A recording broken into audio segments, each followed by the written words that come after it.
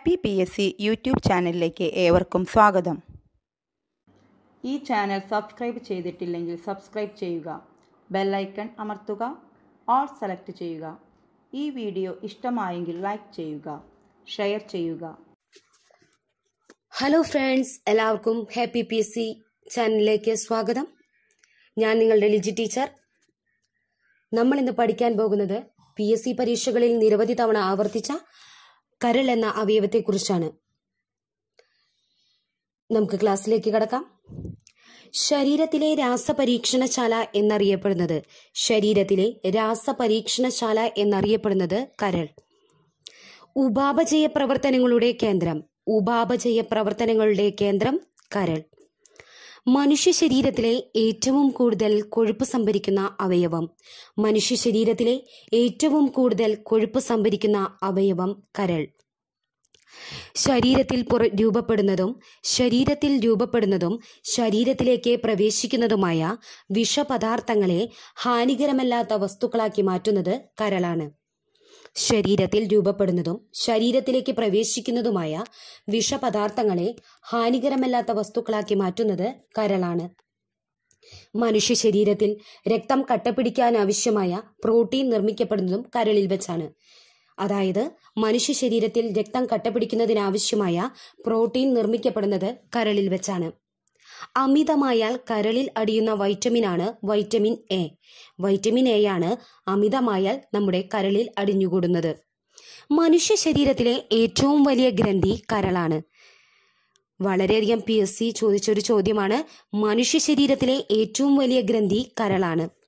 മനുഷ്യ ശരീരത്തിലെ ഏറ്റവും അധികം ഇരുമ്പ് സംഭരിക്കപ്പെടുന്ന അവയവവും കരളാണ്. മനുഷ്യ ശരീരത്തിലെ ഏറ്റവും അധികം ഇരുമ്പ് സംഭരിക്കപ്പെടുന്ന അവയവവും കരൾ തന്നെയാണ്. മനുഷ്യ ശരീരത്തിലെ ഏറ്റവും അധികം താപം ഉൽപ്പാദിപ്പിക്കുന്ന അവയവം കരളാണ്. മറക്കരുത്. മനുഷ്യ ശരീരത്തിലെ ഏറ്റവും അധികം താപം ഉൽപ്പാദിപ്പിക്കുന്ന അവയവം കരളാണ്. നശിച്ചു പോകുന്ന കോശങ്ങളെ പുനർനിർമ്മിക്കാനുള്ള കഴിവുള്ള അവയവമാണ് കരൾ. നശിച്ചു പോകുന്ന കോശങ്ങളെ പുനർനിർമ്മിക്കാനുള്ള കഴിവുള്ള അവയവമാണ് കരൾ. രണ്ട് ലോബുകളുള്ള അവയവമാണ് കരൾ. രണ്ട് ലോബുകളുള്ള അവയവമാണ് കരൾ.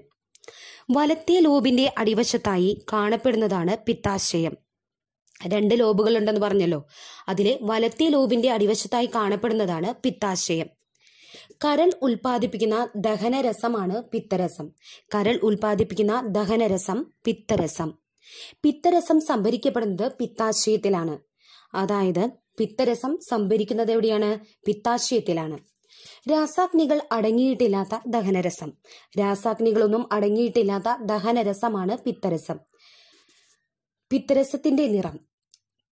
പച്ചയും മഞ്ഞയും കലർന്ന നിറമാണ് പിത്തരസത്തിന്റെ നിറം. ബിലിറുബിൻ ശരീരദ്രാവകങ്ങളിൽ കലർന്ന് കലകളിൽ വ്യാപിക്കുകയും അതിലൂടെ കലകൾക്ക് മഞ്ഞ നിറം ഉണ്ടാവുകയും ചെയ്യുന്ന അവസ്ഥയാണ് മഞ്ഞപ്പിത്തം. അതായത് ബിലിറുബിൻ ശരീരദ്രാവകങ്ങളിൽ കലർന്ന് കലകളിൽ വ്യാപിക്കുകയും അതിലൂടെ കലകൾക്ക് മഞ്ഞ നിറം ഉണ്ടാവുകയും ചെയ്യുന്ന അവസ്ഥയെയാണ് നമ്മൾ മഞ്ഞപ്പിത്തം എന്ന് പറയുന്നത്. കരളിൽ നിർമ്മിക്കപ്പെടുന്ന വിഷവസ്തുവാണ് അമോണിയ. നമ്മുടെ കരളുകളിലെ നിർമ്മിക്കപ്പെടുന്ന വിഷവസ്തുവാണ് എന്തെന്ന്? അമോണിയ എന്ന് പറയുന്നത്. അമോണിയ കാർബൺ ഡൈ ഓക്സൈഡുമായി ചേർന്ന് ഉണ്ടാകുന്ന വസ്തുവാണ് യൂറിയ. ഈ അമോണിയ നമ്മുടെ കല്ലിൽ നിർമ്മിക്കപ്പെടുന്ന വിഷവസ്തുവായ അമോണിയ കാർബൺ ഡൈ ഓക്സൈഡുമായി ചേർന്ന് ഉണ്ടാകുന്ന വസ്തുവാണ് എന്ത്? യൂറിയ എന്ന് പറയുന്നത്. രാസാഗ്നികളുടെ സഹായത്താൽ അമോണിയ കാർബൺ ഡൈ ഓക്സൈഡും ജലവുമായി ചേർന്ന് യൂറിയയായി മാറുന്നത് എവിടെ വെച്ചാണ്? കരളിൽ വെച്ചാണ്. രാസാഗ്നികളുടെ സഹായത്തോടുകൂടി അമോണിയ കാർബൺ ഡൈ ഓക്സൈഡും ജലവുമായി ചേർന്ന് യൂറിയയായി മാറുന്നത് എവിടെ വെച്ചാണ്? കരളിൽ വെച്ചാണ്. കരളിൽ വെച്ച് യൂറിയ നിർമ്മിക്കപ്പെടുന്ന പ്രക്രിയ അറിയപ്പെടുന്നത്. കരളിൽ വെച്ച് യൂറിയ നിർമ്മിക്കപ്പെടുന്ന പ്രക്രിയ അറിയപ്പെടുന്ന എന്താണ്? ഓർണിത്തയിൻ പരിവൃത്തി. ഓർണിത്തയിൻ പരിവൃത്തി എന്ന് പറഞ്ഞാൽ എന്താണ്? കരളിൽ വെച്ച് യൂറിയ നിർമ്മിക്കപ്പെടുന്ന പ്രക്രിയയാണ് നമ്മൾ എന്ന് പറയുന്നത്? ഓർണിത്തയിൻ പരിവൃത്തി എന്ന് പറയുന്നത്. ശരീരത്തിൽ യൂറിയ നിർമ്മാണം നടത്തുന്ന അവയവം കരളാണ്. ശരീരത്തിൽ യൂറിയ നിർമ്മാണം നടത്തുന്ന അവയവം കരളാണ്. കരളിൽ നിർമ്മിക്കപ്പെടുന്ന പ്രോട്ടീനുകൾ. ശ്രദ്ധിക്കുക കരളിൽ നിർമ്മിക്കപ്പെടുന്ന പ്രോട്ടീനുകൾ. പ്രോത്രോംബിൻ ഫൈബ്രിനോജിൻ ആൽബുമിൻ എന്നിവ. പോത്രോംബിൻ ഫൈബ്രിനോജിൻ ആൽബുമിൻ എന്നിവ.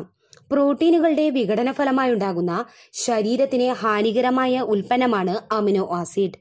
പ്രോട്ടീനുകളുടെ വിഘടന ഫലമായി ഉണ്ടാകുന്ന ശരീരത്തിന് ഹാനികരമായ ഉൽപ്പന്നമാണ് അമിനോ ആസിഡ്. അമിനോ ആസിഡുകൾ അമിനോ ആസിഡുകളുടെ വിഘടനപരമായി ഉണ്ടാകുന്നതാണ് അമോണിയ. അതായത് അമിനോ ആസിഡുകളുടെ വിഘടനപരമായി ഉണ്ടാകുന്നതാണ് അമോണിയ. കരളിൽ സൂക്ഷിക്കുന്ന കാർബോഹൈഡ്രേറ്റ് നമ്മുടെ കരളുകളിൽ സൂക്ഷിക്കുന്ന കാർബോഹൈഡ്രേറ്റ് ആണ് എന്ത് ഗ്ലൈക്കോജൻ കരളിൽ സൂക്ഷിക്കുന്ന കാർബോഹൈഡ്രേറ്റ് അതാണ് ഗ്ലൈക്കോജൻ. വിവിധ കാരണങ്ങളാൽ കരളിനുണ്ടാകുന്ന വീക്കവും തന്മൂലമുണ്ടാകുന്ന രോഗാവസ്ഥയുമാണ് എന്തെന്നറിയപ്പെടുന്നത്? ഹെപ്പറ്റൈറ്റിസ്. വിവിധ കാരണങ്ങളാൽ കരളിനുണ്ടാകുന്ന വീക്കവും തന്മൂലമുണ്ടാകുന്ന രോഗാവസ്ഥയുമാണ് ഹെപ്പറ്റൈറ്റിസ് എന്നറിയപ്പെടുന്നത്. ഹെപ്പറ്റൈറ്റിസ് രോഗത്തിന് കാരണം എന്താണ്? വൈറസ് ബാക്ടീരിയ വിഷവസ്തുക്കൾ ലഹരി മരുന്നുകൾ മദ്യം. ഏതൊക്കെയാണ്? വൈറസ് ബാക്ടീരിയ വിഷവസ്തുക്കൾ ലഹരി മരുന്നുകൾ മദ്യം. വിവിധ തരം വൈറൽ ഹെപ്പറ്റൈറ്റിസുകളുണ്ട്. അപ്പോൾ വൈറസ് ബാക്ടീരിയ വിഷവസ്തുക്കൾ ലഹരി മരുന്നുകൾ മദ്യം. ഇവ കൊണ്ടാണ് എന്ത് രോഗം ഉണ്ടാകുന്നത് ഹെപ്പറ്റൈറ്റിസ് രോഗം ഉണ്ടാകുന്നത് വിവിധ തരം വൈറൽ ഹെപ്പറ്റൈറ്റിസുകളാണ് ഏതൊക്കെ? Hepatitis A B C D E G അപ്പൊ അത് ഓർത്താൽ മതി. A B C D E F ഇല്ല. ജി ഉണ്ട്. അപ്പൊ A B C D E G എന്ന് ഓർക്കുക. ഏറ്റവും മാരകമായ വൈറൽ ഹെപ്പറ്റൈറ്റിസ് ഏതാണ്? അതായത് ഏറ്റവും മാരകമായ വൈറൽ ഹെപ്പറ്റൈറ്റിസ് ആണ് ഹെപ്പറ്റൈറ്റിസ് ബി അപ്പോൾ മാരകമായ വൈറൽ ഹെപ്പറ്റൈറ്റിസ് ഏതാണ്? ഹെപ്പറ്റൈറ്റിസ് ബി മലിനജലത്തിലൂടെ പകരുന്ന ഹെപ്പറ്റൈറ്റിസ് ഏതാണ്? മലിനജലത്തിലൂടെ പകരുന്നതാണ് ഹെപ്പറ്റൈറ്റിസ് എയും ഇയും അപ്പോൾ എയും ഇയും മാരകമായ വൈറൽ ഹെപ്പറ്റൈറ്റിസ് ആണ് ബി മലിനജലത്തിലൂടെ പകരുന്ന ഹെപ്പറ്റൈറ്റിസ് ആണ് ഹെപ്പറ്റൈറ്റിസ് എയും ഇയും മദ്യപാനം മൂലമുണ്ടാകുന്ന ഹെപ്പറ്റൈറ്റിസ് ആണ് ടോക്സിക് ഹെപ്പറ്റൈറ്റിസ് മദ്യപാനം മൂലമുണ്ടാകുന്ന ഹെപ്പറ്റൈറ്റിസ് ആണ് ഇത് ടോക്സിക് ഹെപ്പറ്റൈറ്റിസ് ഇനി നോക്കാം അമിത മദ്യപാനം മൂലം കരളിലെ കോശങ്ങൾക്കുണ്ടാകുന്ന ജീർണാവസ്ഥ.